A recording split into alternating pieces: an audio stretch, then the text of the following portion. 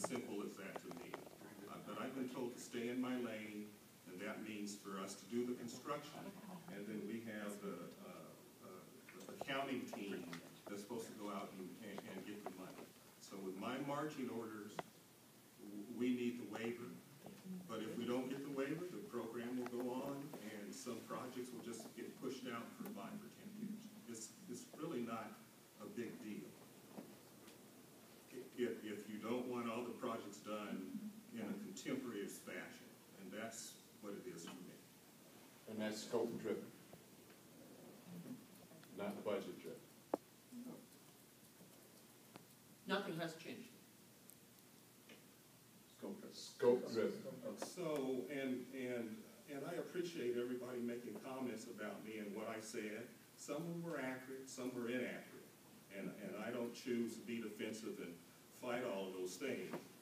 This was a concept that came up when we moved from a modernization program. You saw all those schools that Dr. Harder said that basically the buildings got refurbished to a full-out program.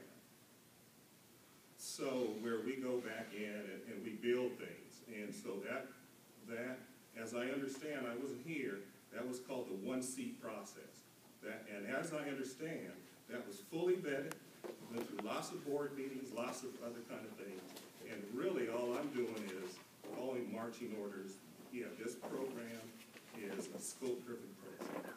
Oh, along with my comments, I also like to point a personal privilege is that I, my, I, one thing that I think is missing when people refer to your, your statements about scope-based budgeting is that you were acting, you're being a messenger, you're being, a- you're, the whole tone that you had, the stance was, I want to be as honest as possible with everybody on the committee, and this is a policy that's part of the district policy, it's not necessarily, the, po- it's the policy that I'm trying to implementing, and, and I would, and I'm trying to explain as clearly as possible what it actually is, so I appreciate that. And, and really, so staff doesn't take any independent action. Mhm. So while we are the, the messenger, and while I think rightly so, um, that, that, that we take the heat, all of the things that we do go in front of the board and get appro- approved in front of the board.